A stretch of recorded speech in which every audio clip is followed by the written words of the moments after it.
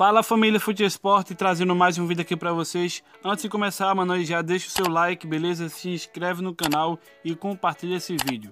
Galera, Cristiano Ronaldo cortou o cabelo, né? Ele está em quarentena na Ilha da Madeira, em Portugal, em sua mansão. O português, né, aproveitou aí o isolamento para deixar sua namorada dar um tapa em seu visual, né? Ele cortou o cabelo. Quer saber mais sobre isso? Vamos pro vídeo.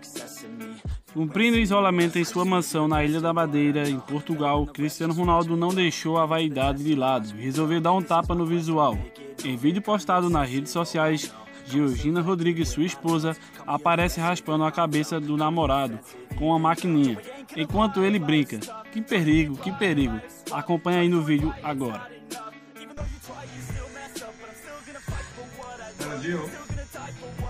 Que perigo!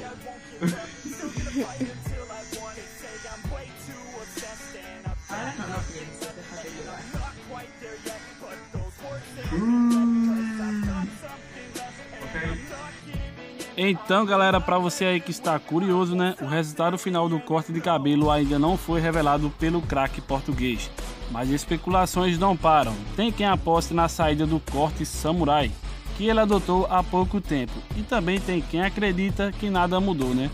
Tem pessoas que acreditam que ele tirou o corte samurai, pode ter raspado a cabeça por completo, né? Ou só ter feito o pé do cabelo ali e ter permanecido o corte samurai. Deixa aí nos comentários o que vocês acham. Será que ele rapou mesmo a cabeça ou permaneceu o corte? Deixa isso nos comentários, beleza?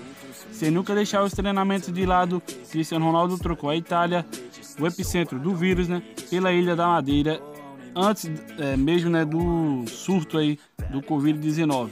Em sua terra natal, o craque está acompanhando a recuperação de sua mãe após ela sofrer um AVC, né?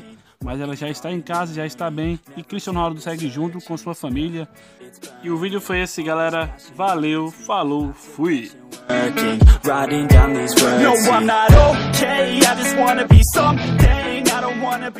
No,